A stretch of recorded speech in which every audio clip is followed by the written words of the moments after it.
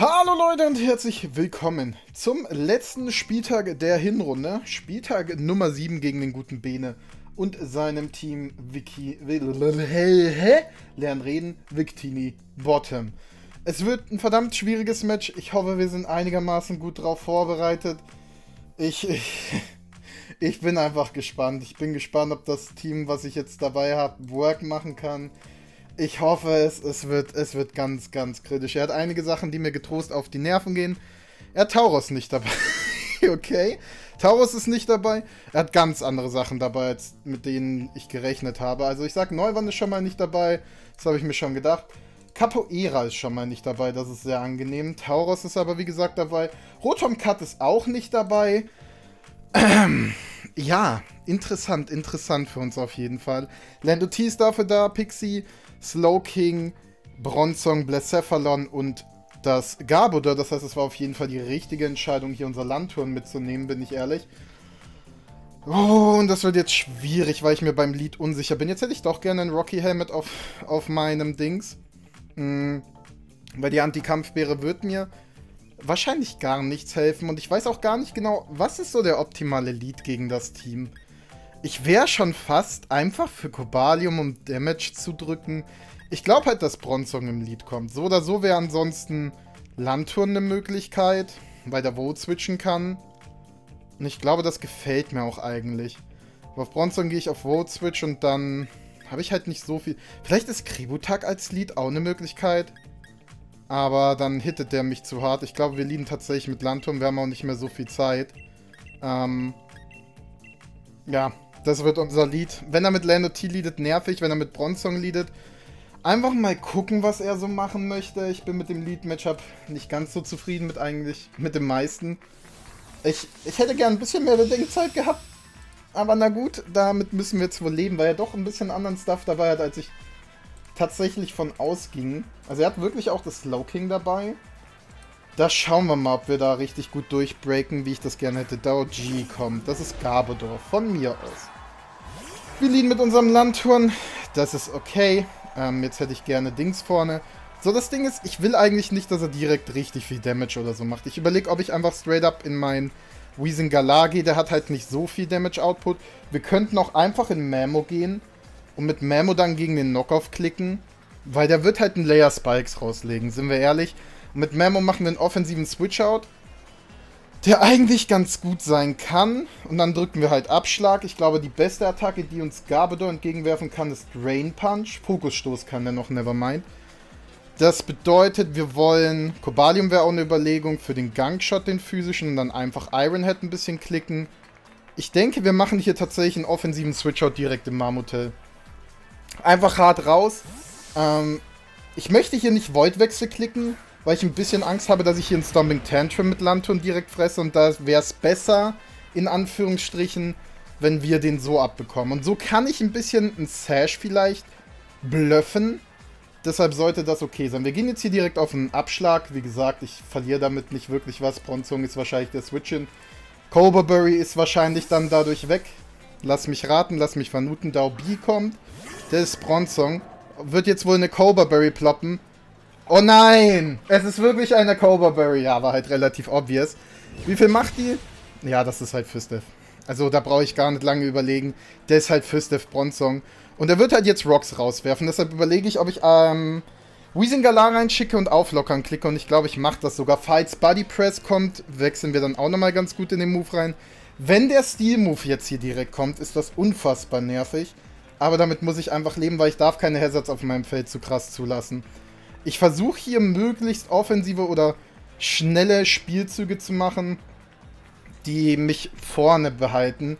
Weil Rocks sind halt eigentlich free jetzt gegen das Teil zu drücken. Er ist eigentlich absolut free. Und ich weiß, ich krieg potenziell viel Damage ja, von der speziellen Attacke und das hat er gut gemacht. Aber es macht kein Two-Shot, das ist immerhin etwas. So, ein Layer Spike ist nervig, aber die Frage ist, ist es nicht besser, den jetzt anzuchippen damit er in Mammothwine kein Switch-In mehr ist, weil dann legt er auch keine Steine mehr für mich raus. Andererseits, er verliert ja eigentlich auch nichts, wenn er jetzt in Slow King geht. Von dem her wäre jetzt meine Überlegung, einfach Spukball zu klicken oder halt zu defoggen, damit der Spike weg ist. Und mit Slowking wird er wahrscheinlich eh Teleport klicken. Ich werde auf Auflockern tatsächlich gehen. Ich glaube, er wird hier einfach in Slowking gehen. Okay, er bleibt drin, greift also weiter an. Ich weiß nicht, ob ich den Trade nehmen möchte, weil Lando T dadurch gefährlicher wird. Und der geht auf Body Press perfekt. Das heißt, er hat einen Switch-Out von mir predicted. Das habe ich mir schon fast ein bisschen gedacht, dass er wahrscheinlich jetzt hier nochmal auf Psychic geht, weil ich eben Switch-Outs habe, die den ganz gut punishen können. So, jetzt kann er natürlich potenziell in Slow King gehen.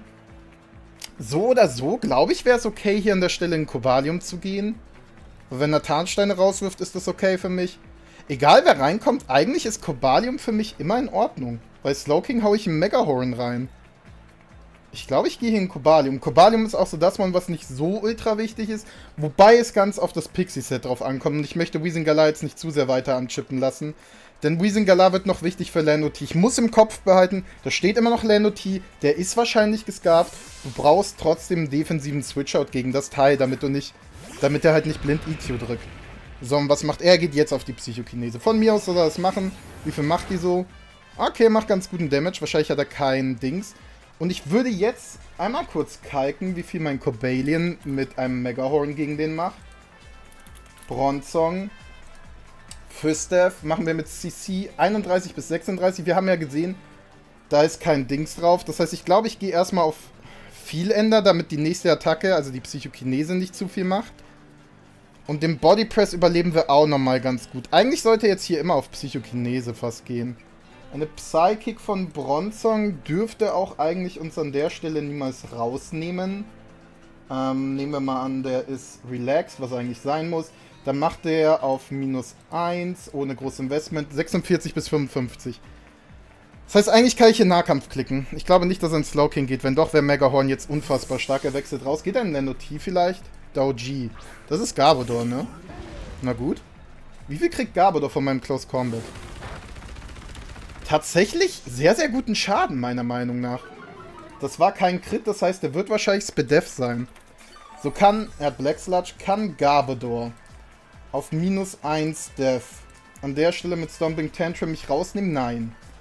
Das heißt, ich glaube, ich gehe jetzt einfach auf den Eisenschädel, weil ich Garbodor runtergechippt haben will dass er nicht meint, oh, ich kann jetzt hier ein paar Layer Spikes oder T-Spikes oder so rauslegen.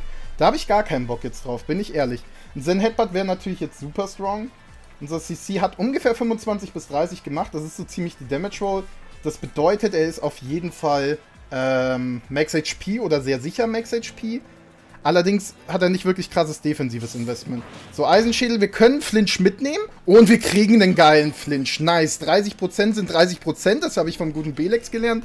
Zwar nicht mit 30%, aber was soll's und wir drücken einfach nochmal Ironhead. Ich glaube, der nächste Ironhead dürfte hier an der Stelle niemals reichen. Ähm, je nachdem, wie die Damage Roll so ist, ich mache mach 35% Min-Damage. Und das könnten 35% sein. Komm, Cobra, gönn uns den Kill. Schade. Fruststampfer kommt, den sollten wir leben. Sollte alles gut sein, den sollten wir leben, den leben wir nicht, okay. Weil ich... Wird Fruststampfer verdoppelt, wenn ich wenn ich ihn flinche. Ansonsten hat er offensives Investment. Ansonsten hat er definitiv offensives Investment. So, und jetzt wäre die Überlegung, hier zu D-Dancen, den da reinzuschicken, einfach Zauberschein zu klicken. Ich glaube, das Beste, was ich machen kann, ist tatsächlich einfach Mammoth-Wine reinzuschicken. Weil ich glaube, mit dem sollte ich eigentlich nie irgendwas verlieren. Ich wüsste jetzt zumindest nicht was. Und wir drücken halt jetzt einfach Abschlag wieder. Weil ich verliere damit nichts. Ich hoffe jetzt auch nicht, dass Gabador irgendeinen wilden Speedcreep hat und deshalb schneller ist als ich. Das wäre sehr nervig. Eigentlich, also er verliert halt fast schon Mon. Bronzong ist halt noch nervig, weil wenn der den richtigen Move klickt, dann habe ich ein Problem. Weil mein Abschlag halt jetzt nicht so viel Damage gegen ein physisch-defensives Bronzong machen wird. Wir haben ja schon das Item abgeschlagen, die Cobra Berries von dem Teil weg. Und da sollte dann auch unser Mammoth trotzdem guten Damage machen. Wir haben halt jetzt den Trade relativ viel Damage auf Garbodor gegen Cobra genommen. Ich hätte nicht gedacht. Stomping Tantrum hat in meinem Kalk niemals gereicht, wenn das Spidef ist. Auf jeden Fall hat er jetzt potenziell einen Coco-Check weniger. Und das finde ich eigentlich ganz nice. Daubi, das Bronzon kommt wieder.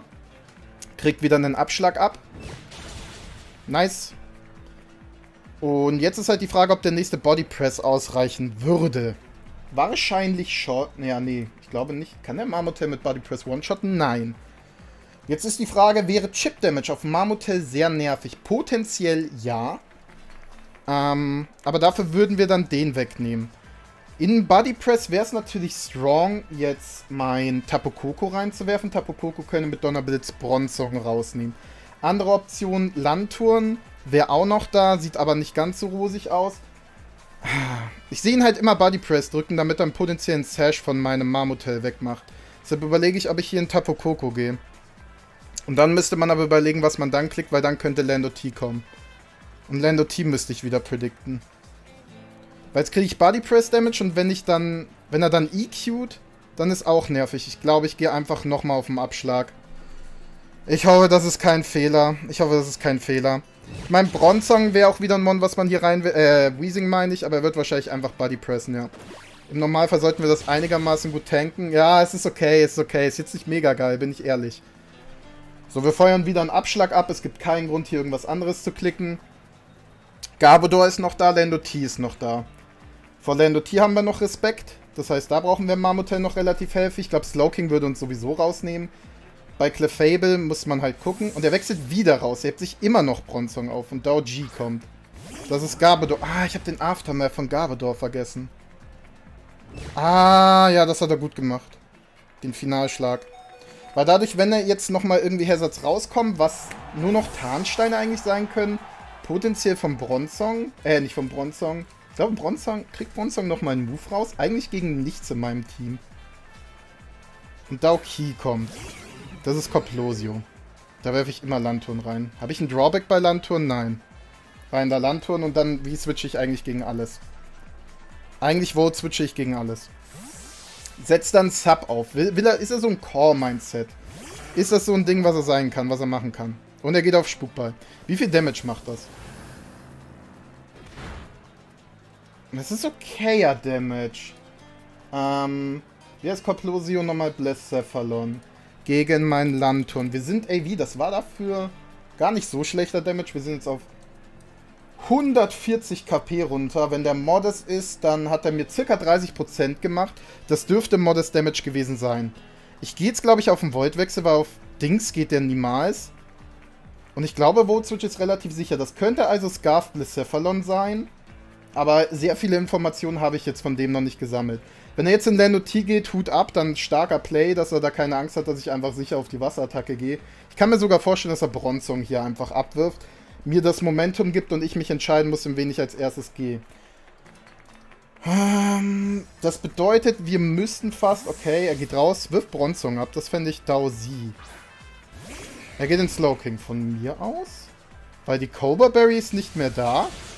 Das heißt, ich gehe jetzt in Crawdant und drücke Knock-Off. Wenn Pixie dann kommt, überlegen wir mal. Punisht er das irgendwie? Eigentlich nicht. Wir gehen in Crawdant. Der kann halt potenziell eine Kampfattacke haben. Ansonsten würde ich super gern gegen den D-Dance drücken, aber das kann ich nicht. Deshalb rein mit dir und Abschlag. Wahrscheinlich wird er jetzt Bronzong abwerfen, um Pixie sicher reinzubekommen. Wäre zumindest mein Guess. Ähm, weil er will ja natürlich das ganze andere behalten. Daobi kommt rein, das ist natürlich Bronzong. So.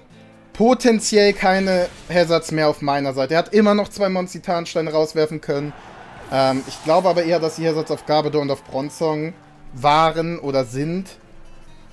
Dementsprechend, ja, wir brauchen auf jeden Fall unser Krebutak noch, damit wir Koplosium mal rausnehmen. Pixie kommt, nervig, hasse dich, Pixie. Und ich glaube, wir brauchen, ja, wobei, wir könnten mit mit, mit, mit Weezing Galar haben wir immer noch die Option, ein paar Mons abzufangen.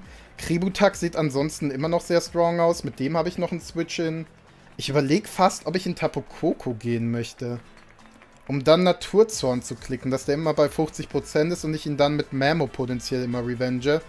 Das wäre auf jeden Fall ein offensiver Switchout, der funktionieren könnte. Weil dann sind die beiden im Prio-Range und dann glaube ich, gewinnen die schon fast ein bisschen. Weil ich will noch nicht, dass er EQ spammen kann, wenn er gescarft ist. Deshalb glaube ich, mache ich hier einen offensiven Switch-Out in mein Tapu Koko, weil ich den am, in Anführungsstrichen wenigsten nützlich momentan ansehe. Gegen das, was auf jeden Fall jetzt noch da ist. Da sehe ich die anderen noch zu wichtig. Allein weil Lando T nicht einfach EQ klicken kann. Wenn er ein spezielles Lando T ist mit Extra Sensory, nimmt er natürlich Weezing Galar raus und er geht einfach auf eine Mondgewalt. Wie viel macht die? Das ist sehr viel Damage und er kriegt den Special Attack Drop. Das ist zum Kotzen.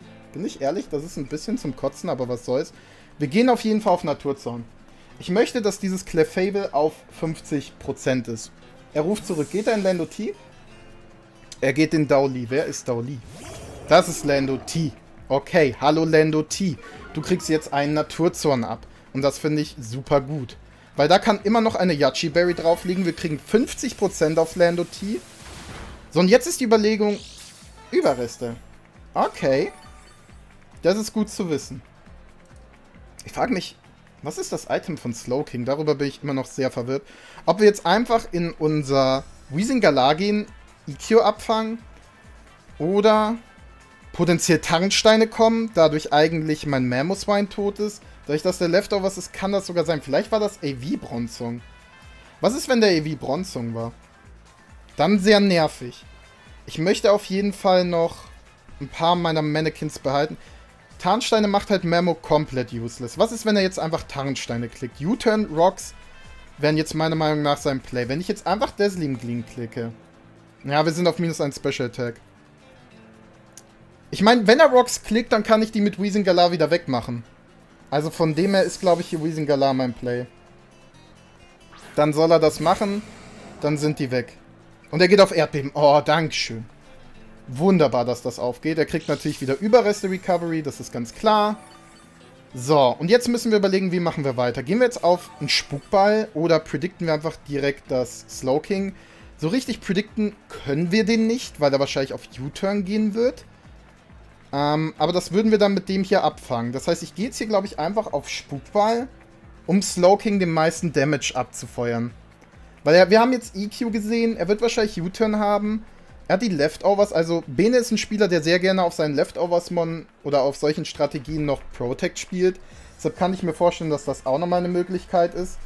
Und ich will ja, dass keine Tarnsteine auf meinem Feld sind. Weil dann sehen Crawdon, also Crawdon sieht sowieso sehr lecker aus, er geht auf Delegator. Das ist nervig. Aber EQ Delegator, was ist sein letzter Angriff? Wir haben halt nur Spukball. Sub ist äußerst nervig. Was ist, wenn Toxic sein letzter Angriff ist? Ja, der steht halt. Ähm, das ist unsympathisch. Das finde ich gar nicht so geil. Ich frage mich halt, was ist... Was ist... Ich muss mal gucken, wie viel macht Weezing Galar so gegen den? Er ruft zurück. Okay. Was hat er gedacht, dass ich jetzt machen werde? Also er hat, glaube ich, nichts er hat eine Anti-Geistbeere auf Slowking, okay. Er hat, glaube ich, nichts gegen mein ähm, Wiesingala in der Hand. Mit dem Teil zumindest. So, und jetzt ist die Frage, geht er auf Teleport oder geht er nicht auf Teleport? Er könnte sehr spielen, damit grenzt er nämlich meine Switch-Outs sehr stark ein. Ähm, Wiesingala sieht gegen eigentlich jedes Mon inzwischen sehr, sehr gut aus, meiner Meinung nach. Außer halt gegen den Boy da. Wenn er einfach eine Psychoattacke drückt, ist das nervig. Ein Fokusstoß drückt er doch jetzt niemals. Ist es jetzt mein Play, in Krebutak zu gehen? Pixie muss noch angeditscht werden.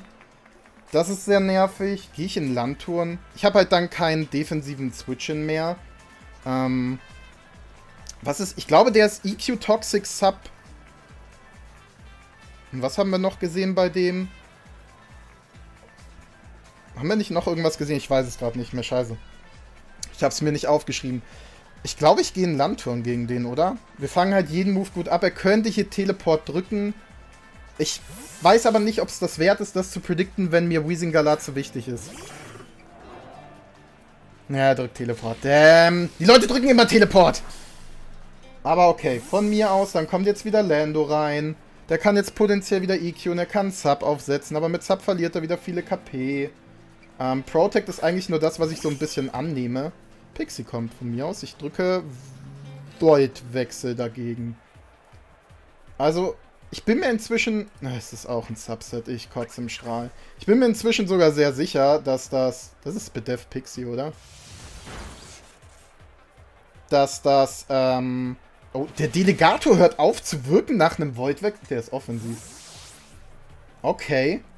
Das macht es jetzt interessant, weil ich glaube, damit ist der offensiv. Wenn Landturn den Sub bricht, Lanturn, du wilder Kerl. Also Spedev ist das Teil auf jeden Fall nicht. Weil sonst würde Switch den niemals brechen. Der könnte dann Fistev sein. Ich glaube, dann kann ich in Weezing gehen. Eigentlich nicht wirklich, weil ich... Ja doch, ich kann Matschbombe zwar klicken. Ich glaube aber, das Beste, was ich hier machen kann, ist tatsächlich in Tapokoko gehen. Und offensiv wieder Druck aufzubauen. Ja, ich glaube Tapokoko ist es, weil der ist nicht Spidef. Donnerblitz macht 51 bis 61 gegen das Teil. Ähm, der hat sich ja jetzt schon KP abgezogen. Die Überreste sehen wir auf Lando T. Was für ein Item hat der? Hat er irgendwas super Nerviges? Eigentlich nicht. So, Lando T könnte reinkommen, aber der kommt nicht zweimal in Zauberschein rein, ist die Sache. Deshalb, ich glaube, der geht jetzt nicht in Lando T. Ich gehe auf Donnerblitz. Ah, er ruft zurück. Er geht in Lando T, oder? Dauli, das war Lando T, ne? Ha, ein Zauberschein wäre jetzt so strong gewesen, ne? Der wäre jetzt so strong. Holy shit, wäre der strong. So oder so gehe ich aber doch danach in mein Mammoth-Swine. Ja. Also er kann jetzt mit EQ Coco besiegen. Ich hau ihn auf jeden Fall jetzt mit Zauberschein an. Versuche ihn... Ich hau ihn an mit Zauberschein, auch ein schöner Spruch. Das nervt mich jetzt ein bisschen, weil hätte ich Dazzling Gleam geklickt, dann wäre der getushottet worden wahrscheinlich. Ja, wobei, wenn das Bedef ist, wahrscheinlich eher nicht. Das kann er hier sehr gut sein. Ja, das ist auch. Ähm, und der wird mich jetzt mit Erdbeben rausnehmen. Von mir aus. Soll er machen, Coco ist weg. Wir folgen Follow-Upen jetzt mit Marmutel oder mit Krebutak. Pixie wird, glaube ich, Speedy sein. Deshalb habe ich mit Lanton den breaken können. Entweder ist Clefable Fistev oder Speedy und outspeedet Krebutak. Das bedeutet, meine zwei besten Spiele... Kann ich jetzt... Moment. Gehe ich jetzt nicht in Crawdown und drück Dragon Dance gegen den? Was soll der mir groß machen?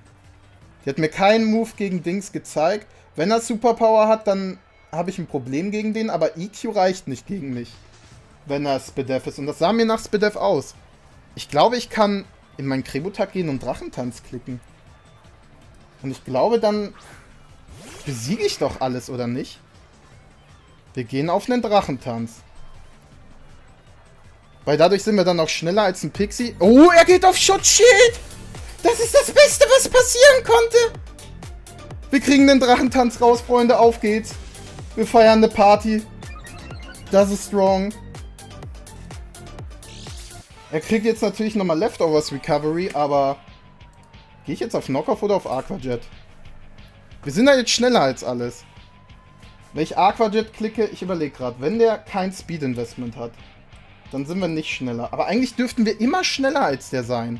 Wir haben Protect Sub gesehen, er hat EQ noch, der hat Toxic als letzten Move, 100%.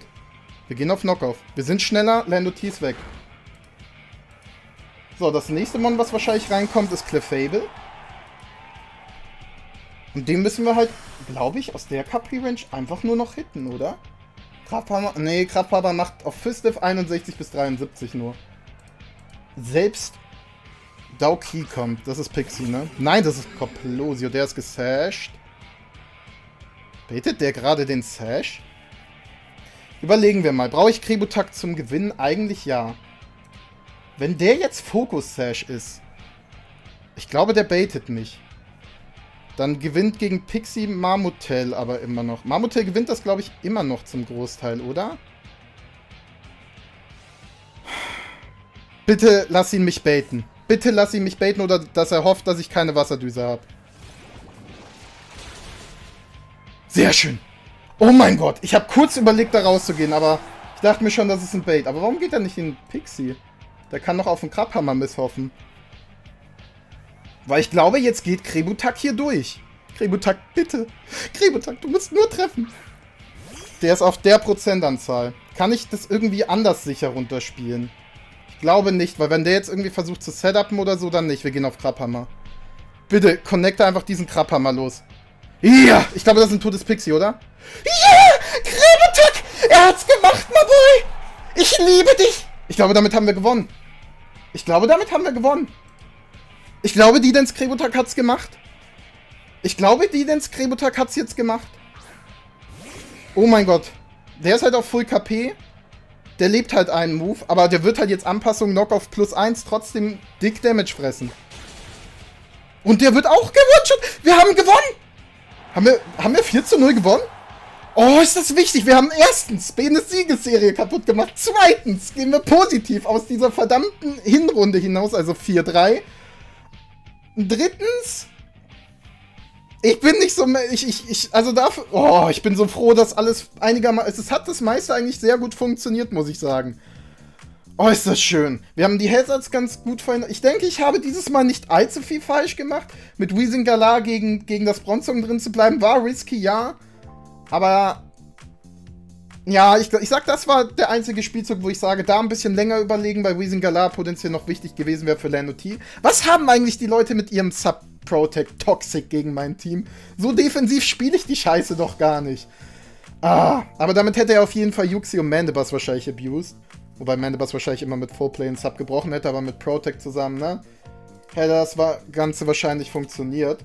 Ähm, ich bin sehr froh, hier noch meinen Sieg mitgenommen zu haben. Der war sehr, sehr wichtig. Das sind sehr wichtige Punkte. Ich glaube, damit sind wir sicher. Nee, ich glaube nicht sicher, weil unsere Differenz halt scheiße ist. Aber das ist vor allem auch. Das sind unfassbar wichtige Differenzpunkte. Ich hoffe jetzt einfach nur, bitte lass einfach nichts an der Audio oder so kacke sein. Ähm, wenn mir noch irgendwas auffällt im Kampf, was ich hätte groß falsch gemacht, dann werde ich das wahrscheinlich nochmal reinschreiben in die Kommentare. Aber ansonsten denke ich, hat alles gut geklappt. Ich hatte kurz Angst, dass das Sash Coplosio ist, aber. Oh, das war ein kurzer Herzinfarkt. Aber ansonsten glaube ich, habe ich diesen Spieltag mal nicht ganz so viel Scheiße gemacht. Deshalb, ja, war ein schöner Kampf. GG, wie gesagt, an Bene. Oh, ich bin froh, dass die ins Krebotag einmal Setup Krebotag mitgebracht und es hat funktioniert. Ich bin, ich bin dir so dankbar, Krebotag. Ich liebe, ich küsse dein Auge. Ich küsse dein Auge, Krebotag.